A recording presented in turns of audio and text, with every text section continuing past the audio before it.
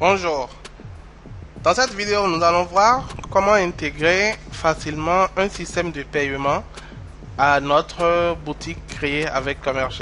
Donc, si vous avez créé votre boutique avec Commerce, vous allez pouvoir, vous avez la possibilité d'intégrer des systèmes de paiement mobile money, carte bancaire à votre boutique commerciale pour permettre à vos clients de payer directement vos produits sur votre boutique. Si vous n'avez pas encore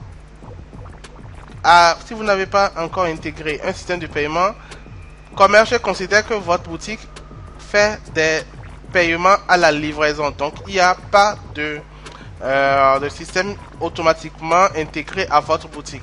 Donc ça veut dire que les clients actuellement au niveau de votre boutique vont euh, les clients vont vous payer lorsque vous leur avez livré le produit soit chez eux à la maison, à votre bureau ou à un lieu physique. Mais si vous voulez que vos clients payent directement et puis vous en, et vos clients vous envoient directement l'argent à partir de votre site internet, il va falloir intégrer un système de paiement à votre site internet. Et c'est ce que nous allons voir aujourd'hui.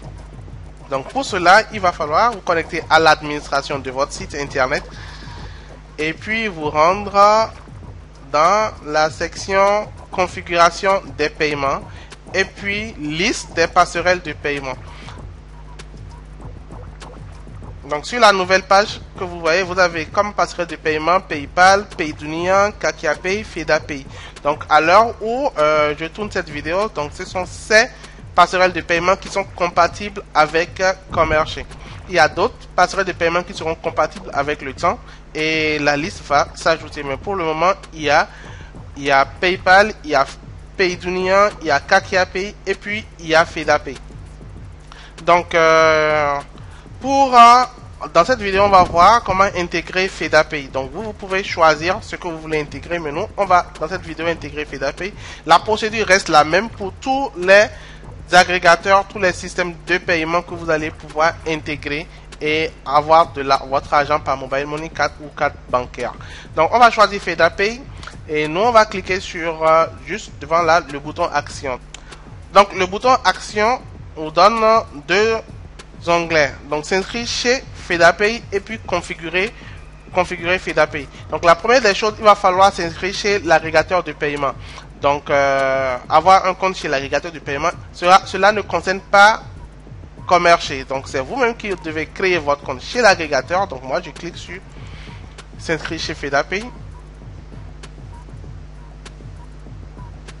Donc là, ça me renvoie sur le site de FedaPay. Et sur ce site, alors, sur ce site, alors, je vais créer mon compte euh, FedaPay, donc se connecter, ouvrir un compte et se connecter. Donc dans ce cas, en réalité, vous contactez le service client de l'agrégateur, donc soit le service client de FedaPay, de KakaPay ou de PayDunia pour pouvoir vous aider à créer un compte et à valider votre compte au niveau de leur système. Donc ici, moi, je vais me connecter à mon compte chez FedaPay. Donc voilà, donc je me connecte à mon compte là.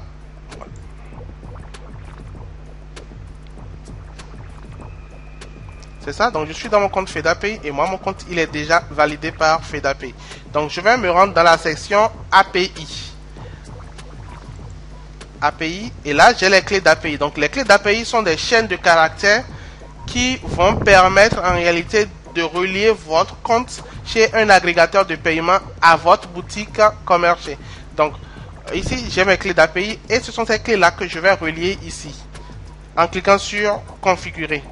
Donc, ce sont ces clés que je vais relier ici en cliquant sur configurer pour euh, relier mon compte FedAPI à mon site internet créé avec euh, commerce. Donc, j'espère que vous comprenez.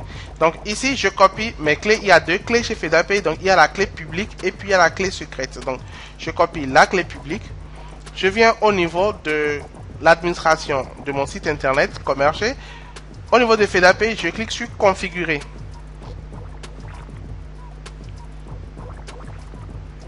Et à ce niveau, commerce me demande les clés d'API. Donc, je vais coller ici ma clé publique et puis je repars copier ma clé secrète et je colle ici au niveau de ma clé secrète. Voilà.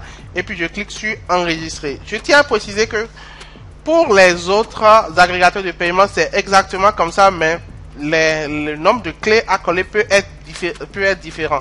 Euh, vous pouvez avoir la clé publique, la clé secrète et puis un token. Et voilà, donc tout ça, Commerce va vous les demander et vous allez copier les clés dans l'ordre demandé. Ici, je clique sur enregistrer. Et voilà, les informations de la passerelle ont été bien enregistrées. Donc voilà, donc je viens de relier mon compte FEDAPay à mon site internet créé avec Commerce. Donc comment je vais voir pour, comment je vais vérifier tout ça? Je clique maintenant sur voir le site. Et là, j'essaye, maintenant de faire un, une commande d'un produit, la commande d'un produit moi-même. Donc euh, là, il y a ce, cette robe là que je vais essayer d'acheter. Donc je clique sur acheter. Et puis là, je sélectionne la taille. Je clique sur ajouter au panier. Je clique sur payer. Ici, je vais saisir mes informations personnelles.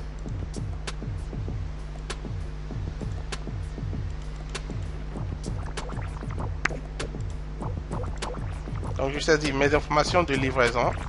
Donc, je me mets ici dans la peau d'un d'un client, en fait, et pour tester si tout marche bien au niveau de, de l'agrégateur de paiement. Donc, euh, ici, je vais mettre...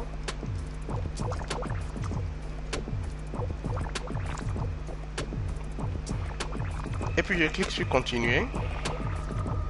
J'ai le récapitulatif. Et puis, ici, j'ai automatiquement le logo de l'agrégateur de paiement, donc le logo de FEDAPay. Donc je clique sur payer la commande.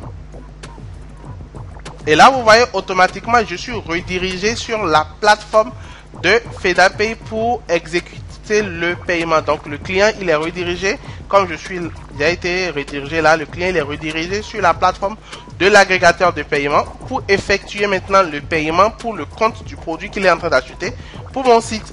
Donc c'est exactement comme cela que euh, vous pouvez intégrer une passerelle de paiement à votre site internet.